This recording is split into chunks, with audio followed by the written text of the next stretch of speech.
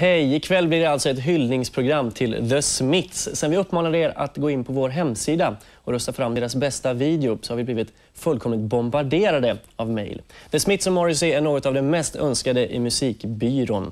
Vilken video som vann den här omröstningen återkommer vi till senare i programmet.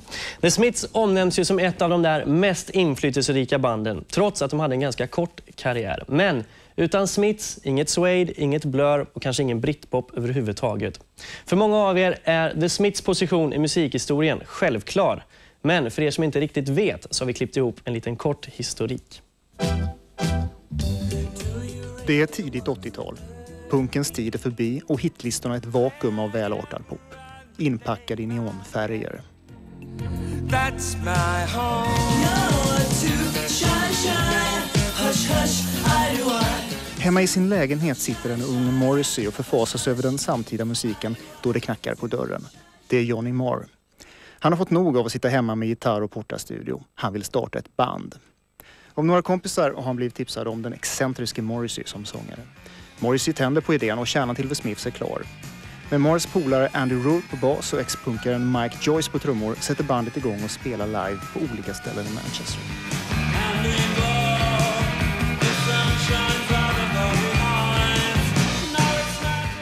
The Smiths blev den motreaktion som alla gått och väntat på.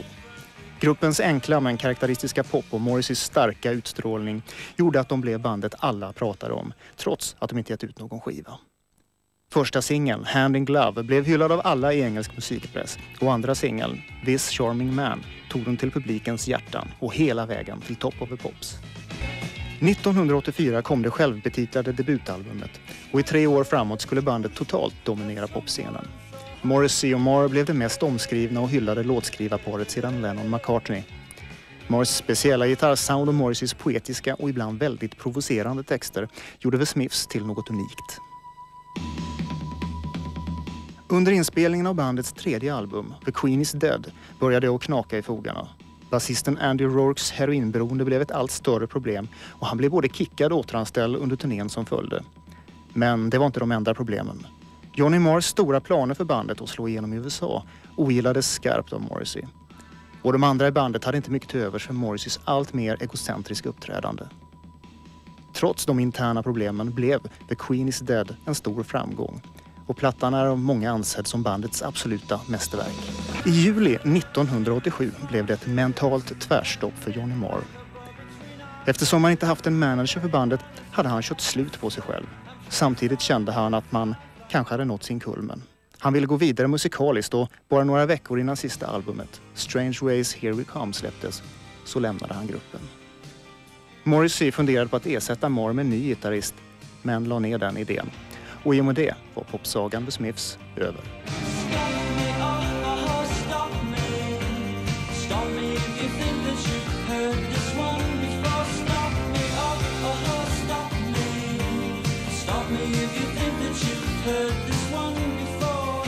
Mm, det finns många rykten om hur det gick till när Smiths upplöstes. Och sagan tog väl egentligen inte riktigt slut bara för att de gick skilda vägar. Johnny Marr har ju till exempel släppt platta med supergruppen Electronic tillsammans med bland andra, bland andra Bernard Sumner och Carl Bartos. Också Morrissey har givetvis gått vidare. Eller vidare och vidare, egentligen har han väl mest fortsatt på samma linje som under tiden med The Smiths.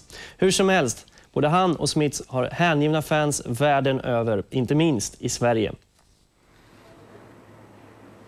Smiths storhet, den, den ligger i de här, tycker jag, de här klassiska, rent musikaliskt så var de ju, Johnny Morris gitarrspel var ju helt bländande popgitarr så, samtidigt som det var blandat med liksom, som, som klassiska 60-tals schlagermelodier som är oslagbart. Plus självklart Morrisseys helt otroligt bra texter.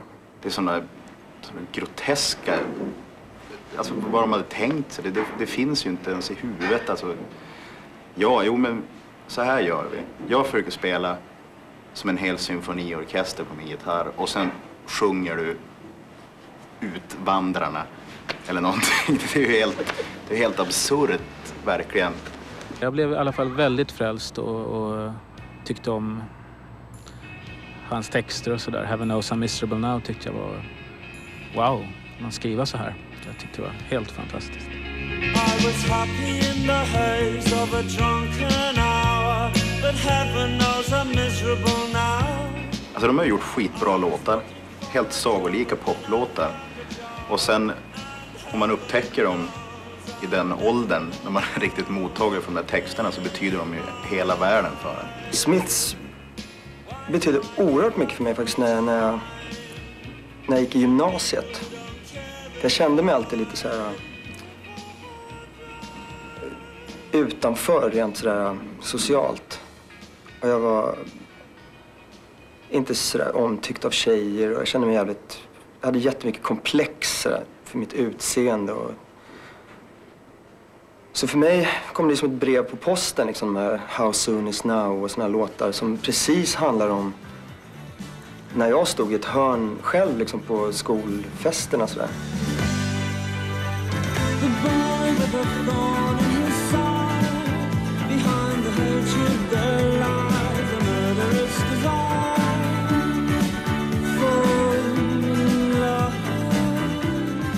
The Vi brukar liksom låna en bil och åka, bara åka, åka, åka med bilen liksom hela natten. Och spela Smiths när det var helt natt ute, bara skogar runt Nynäshamn och sådär. Och spela Smiths på högsta volym och bara satt och sjöng med. Vevade ner rutorna och bara, det var helt underbart. How soon is now? Med min all time favoritlåt faktiskt. Då tar jag Heaven knows I'm miserable now som jag brukar utnämna till den bästa poplåt som har skrivits. 16 clumsy and shy. Half a person. Half a person är otroligt bra. Eh, och sen har jag alltid varit svag för rimmen där på för 10 ton truck.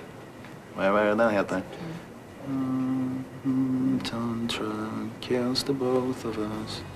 Today by your side. Ja, fan. Tre riktigt stora Smiths-fans. Det finns givetvis fler. Bear Quartet, Eggstone, Peter Birro, Popsicle, Broder Daniel och inte minst då Håkan Hellström. Hellström som ju rent av hyllat Smiths genom att översätta och planka Morrissey-fraser som han sen gjort till sina egna på sin soloplatta. Hellströms favoritlåt med Smiths är annars The Boy with the Thorn in his side. För tillfället befinner sig Håkan Hellström på semester, annars hade han självklart varit med och pratat Smiths i musikbyrån. Men innan han åkte iväg så hann han tipsa oss om ett gäng killar som precis som Håkan själv har Morrisseys ande vilande över precis allt de gör. Vi åkte till Göteborg och träffade en trio som älskar Smiths i allmänhet och Morrissey i synnerhet. Det- handlar ju inte om musik längre med Morrissey. Utan eh, det här är ju ett, ett, ett, eh, förhållande till, till livet liksom. För oss är det det. Det, det, är, ju, det är ju kärlek. Vi, vi är kära i vår psykolog. Mm. Och eh, det, det är inte ofta vi vet om, om vi är patienter eller om, Nej. eller om Morrissey är patienter. Men eh, det känns bra i alla fall.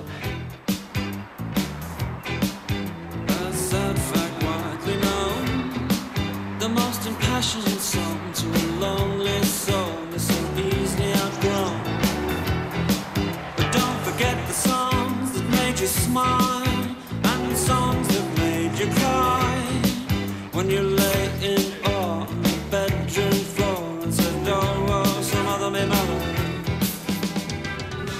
Myten om Morrissey är jätteviktig för att han har ju byggt upp den själv. Han är ju den första som vill upprätthålla den. För utan den myten så faller ju väldigt mycket. Och då blir det ju så, uppskattar man Morrissey uppskattar man också myten. Så att det blir som ett samarbete. Både han och alla hans fans håller uppe den här myten om honom. Och det finns ingen anledning att punktera den för det är ingen som kan bevisa motsatsen. Det finns ju ingen gränsdragning mellan kulten och Morrissey. Liksom. Absolut. Det, Nej men det är just det. Han syns aldrig i media. Nästan. Eh, har aldrig haft, han har aldrig, han har aldrig legat med Kate Moss. Uh, skratt. Eh, Han har ingen apa som heter Bubbles. nej precis. Nej. Utan eh, han, han är, håller sig, alltså det, och det är ju ingen myt alltså att han låser in sig och eh, ligger hemma med, bakom neddragna persienner och lyssnar på Walkman med eh, Billy Fury. Med bara gamla grejer. Ja, Alltså jag tror inte att man kan dra en sån absolut gräns att Morrissey är lycklig, Morrissey är olycklig. Utan jag skulle kunna säga så här att Morrissey är lycklig när han är olycklig. Han har en drivkraft att eh, inte må som vi andra. vad som är lycka. Så du tror att han vill rent av kanske vara lite olycklig då? Att Mm. martyrskap... Det blir som en tröst. Och det är en tröst för oss också att veta att han är olycklig. Och att han, eh, han ger på något sätt olyckan, ensamheten, ångesten ett värde. Han får mig att gråta och skratta. Och, det är samtidigt liksom. Det är en oerhörd tröst alltså. Det är den första människan som verkligen har satt en, ett ansikte på den ensamma människan och sagt att det är okej att du är så här. Och gjort det med stil. Absolut. Ni sitter här nu, tre stycken killar, och pratar om, eh, om honom som om han vore er bästa kompis här. Men ni har ju aldrig träffat honom. Ehm, det, är alltså, det har att göra med hans texter, att de är så pass intima som de är. Så att det känns som att man, han har suttit i den där fåtöljen och snackat med mig i några dagar. Liksom. Jag känner den här killen, för jag vet exakt vad han sjunger. och, sen, och sen alltså så har vi ju ett, eh, ett citat som alltid kommer väl till pass när man talar om Morrissey. Hur vi förhåller oss till Morrissey. Alltså det är ju som att, eh, det är som att tala med en go riktigt god vän. Eh, kanske den bästa eh, till och med. Och vi lyssnar ju inte på Morrissey för att lyssna på honom utan det är för att få ligga vid hans bröst. Varje gång man sätter på en skiva, en video, ett kassettband så är det, får man ett tillfälle att ligga på, på Morrisseys bröstkorg och vila sitt huvud. Mycket sant. Mycket sant. Ehm, så det handlar inte om att sätta på en bra skiva alltså. Det är mycket mer än så. And everybody's got to live their life. And God knows I've got to live mine. God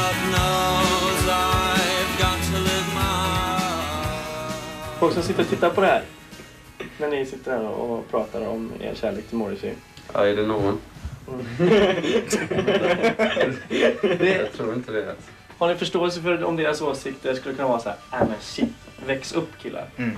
Jag förstår det mycket väl. Absolut, och jag håller med dem också. Ja, Ja. det är alltså, vi vill väl egentligen ingenting heller än att växa upp, men kan man inte göra det, då får man ta och stå till bud. va? För det finns också en, en grej här som jag har tänkt på, som även Håkan Hellström har Mm. då tagit. Det är, ni måste leva era livs... Mm. Ja, God knows I must live mine. Ja.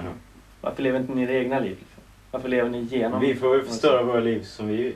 Jag vet inte om man ska kalla det förstöra. Alltså, jag, jag skulle nog vilja säga att jag lever mitt liv som jag lever, oavsett om Morrissey finns eller inte. Han är där som ett vackert stöd, jag är tacksam. Finns han inte där, spelar ingen roll. Jag hade antagligen levt mitt liv så som jag lever det nu också. Det som är skillnaden är att Morrissey alltså har sagt att det är okej.